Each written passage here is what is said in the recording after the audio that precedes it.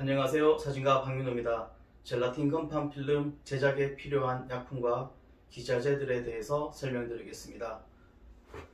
첫째, 필요한 약품들을 먼저 설명드릴 텐데요. 필요한 약품은 첫째, 젤라틴, 사진 전용으로 만들어진 젤라틴이 필요하고요.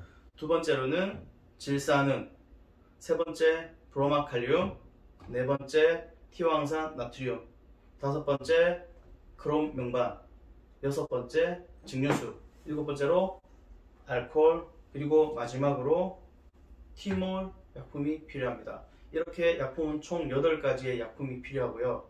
이 외에 다른 약품을 더 첨가할 수도 있긴 하지만 가장 간단한 유제를 만드는 약품으로 이렇게 8가지의 약품이 필요합니다.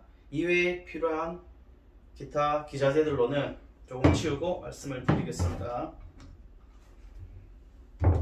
기자재들로는 자, 첫 번째 비커 약품을 희석하거나 온도를 높여서 교반에 필요한 비커가 필요한데요. 기본적으로 100ml 비커 하나, 200, 250ml 비커, 그 다음에 500ml 비커 이렇게 세 종류가 있으면 기본적으로 작품 제작에 필요한 비커가 되겠고요.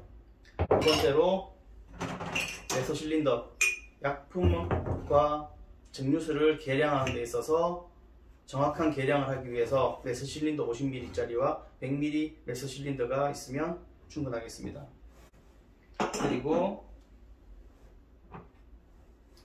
약품을 저을 때 사용하는 유리막대, 약품의 온도를 측정할 수 있는 알코올 온도계, 알코올 온도계 또는 전자식 온도계를 사용할 수도 있습니다. 전자식 온도계를 사용하면 조금 더 정밀하게 온도를 측정할 수 있으실 것이고요.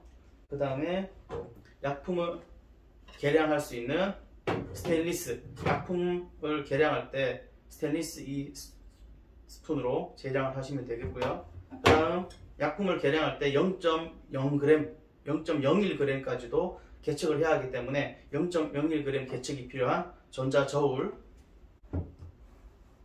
그리고 약품을 교반할 때 필요한 스피너 이 스피너는 앞쪽에 보이시는 가온 교반기에 비커를 올려두시고요. 이 비커 안에 스피너를 집어넣고 온도와 RPM을 조절하면 약품을 자동으로 교반해주게 되겠습니다.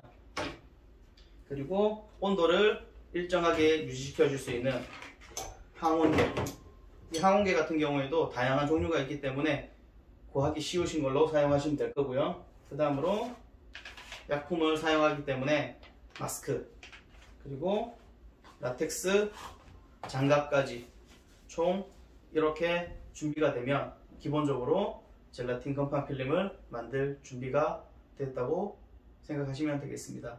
다음 영상에서는 이 준비된 약품들로 유제를 만드는 과정과 유제를 세척하고 숙성시키는 과정을 보여드리겠습니다. 감사합니다.